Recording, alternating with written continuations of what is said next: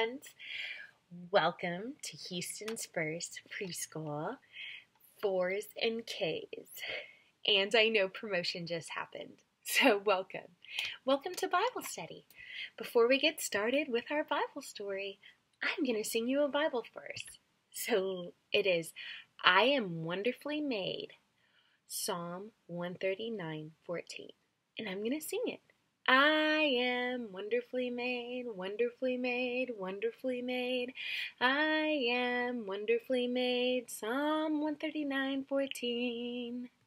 Ready? Sing it with me. I am wonderfully made, wonderfully made, wonderfully made. I am wonderfully made. Psalm 139:14. Good job. Say it with me one more time. I am wonderfully made. Psalm 139:14. Remember that, friends. You, me, your parents, everything in the world is wonderfully made. Amen. Hi, friends. So we're still in the book of Genesis. And that means in the beginning, when it was only God, and then He created the world, and then He created the plants, and then the, all the animals in the sky, and the sea, and the land. Well, remember, he made Adam and Eve last time. That's right. So today's story is out of Genesis. So you need to get your Bibles. This time I want you to get your Bibles and try to find the book of Genesis. It's in the very beginning. It won't be very easy for you to find it.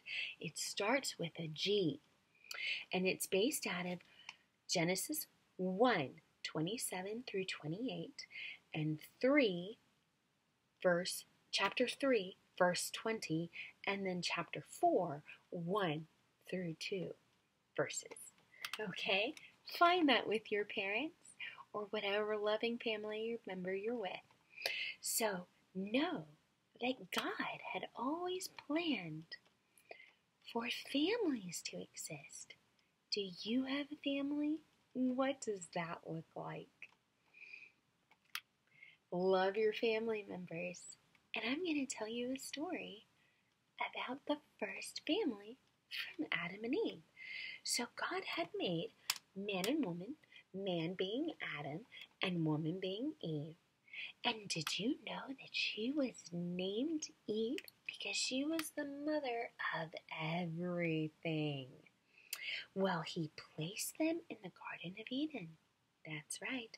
And God gave them special instructions. He said, Take care of the garden, work hard and have children, and take care of the fish and the birds and the land animals, all the animals. That's right. And Adam and Eve were also told to not eat from this one particular tree. But do you know what? Adam and Eve made a really bad decision. They ate from that tree that God told them not to eat from. So, guess what happened? They were removed from the Garden of Eden. God removed them from the garden and they had to leave. And after Adam and Eve left the garden, they had to work so, so hard. And Eve had a son and named him Cain, and then she had another one and named him Abel. Both Cain and Abel worked really hard until they were old. When they grew older, they, they worked very hard throughout their years. And Abel was a shepherd, and Cain was a farmer. You know what a shepherd is, right? They're the ones that herd all the animals or the sheep. And um, a farmer is one that grows crops and takes care of the land. And Adam and Eve, Cain and Abel, say it with me Adam and Eve were mommy and daddy, and they had Cain and Abel, two sons, and they were the first family on earth. That's right. Isn't that amazing?